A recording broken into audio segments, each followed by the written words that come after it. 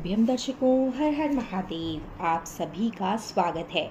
कैसे हैं आप सब? हम आशा करते हैं मित्रों, आप सभी स्वस्थ और सुरक्षित होंगे। दर्शकों, आप सभी जानते हैं 22 फरवरी दिन गुरुवार को माघ मास का गुरु पुष्य नक्षत्र योग है। इस गुरु पुष्य नक्षत्र योग के साथ साथ ही चार और योग बन रहे हैं। सबसे पहले तो गुरु पुष्य नक्षत्र योग है। सर्वात्र सिद्धि योग है, रवि पुष्य योग है, साथ में ही शुद्ध योग है।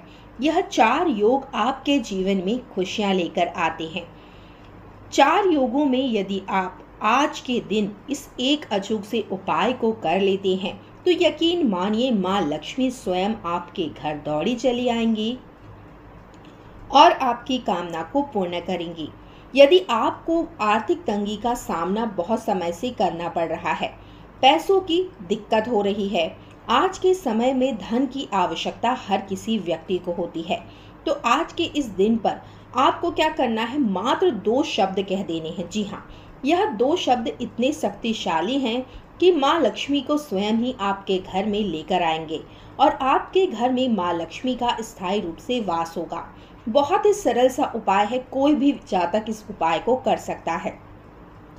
मात्र इन दो शब्दों को आपको दिन भर में कभी भी 108 बार उच्चारण कर लेना है। आप जानना चाहते हैं वह दो शब्द कौन से हैं तो सबसे पहले तो आप हमारे चैनल को तुरंत ही सब्सक्राइब कर लीजिए। बेल आइकन को प्रेस करके ऑल पर क्लिक कर दीजिए, जिससे कि हमारा जब भी कोई नया वीडियो आएगा तो उसका नोटिफिकेशन आपको सबसे पहले प्राप्त होगा।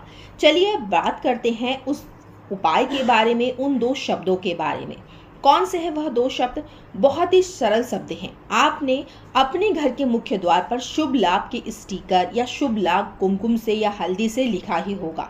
जी हाँ वह दो शब्द है, शुभ और लाभ। जी हाँ शुभ आपके घर में सुख समृद्धि को लेकर आएगा और लाभ आपको धन के लाभ कराएगा, जिससे कि आप जो भी कार्य कर रहे हैं, उसमें आपको लाभ की प्राप्ति होगी।